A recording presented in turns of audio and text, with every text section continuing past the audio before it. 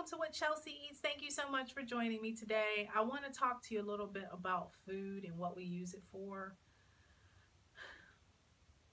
For a lot of my life, I used food for entertainment, for comfort, for companionship, just to keep me going, like emotionally. I mean, for the most part. Um, because when I learned to do that when I was very young, because when I was young, little, I used food because I was alone a lot. I was alone a lot because my mother worked and my brother and sister were a lot older than me. And they were six years older than me, so they were pretty much, as I was growing up, out of the house. My sister left when she was 17. My brother left when he was 17. And I was alone.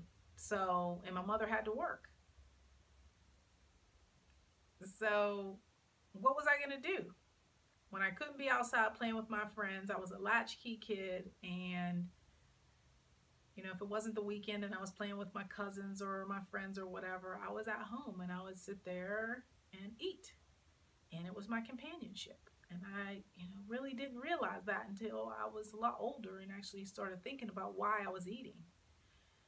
And the truth is, is food is for nourishment. It is designed to nourish our bodies and give us the energy that we need so that we can function and do the things that we have to do every day, do the things that we were called to do every day, take care of our families. That is what food is for.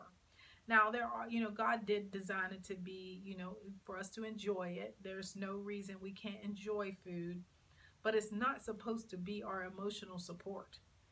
And that is the biggest thing that most people that I talk to do.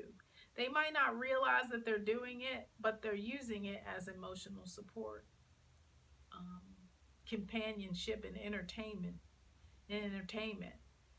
And the reason I know is because of some of the things that people say.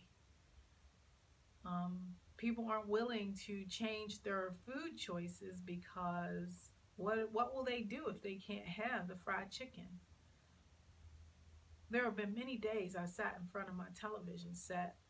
I'd order some chicken wings and some macaroni and cheese or fries or something from the local chicken joint and sit in front of the TV and watch a Hallmark movie.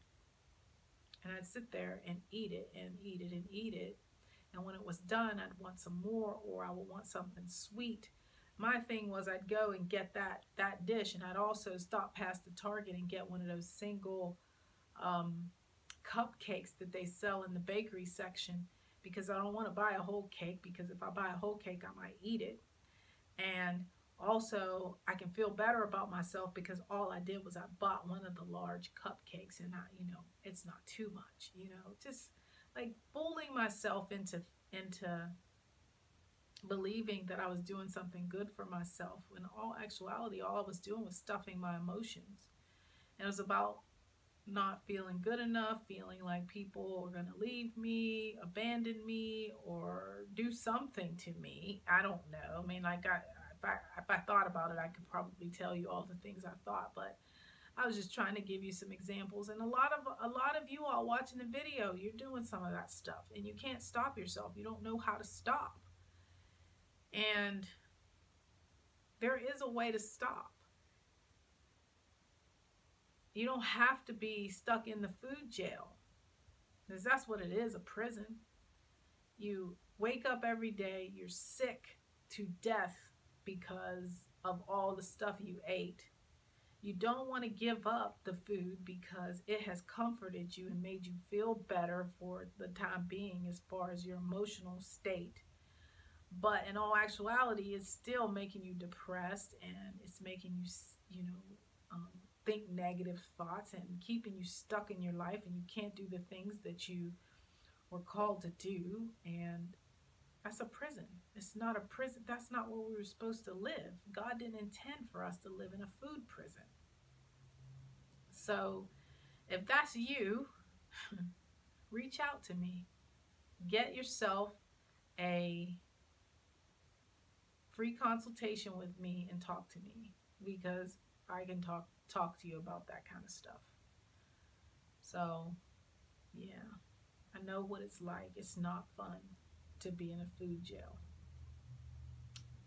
A food jail is no fun. All right, y'all. Thanks so much for watching, and I will talk to you all soon. Take care.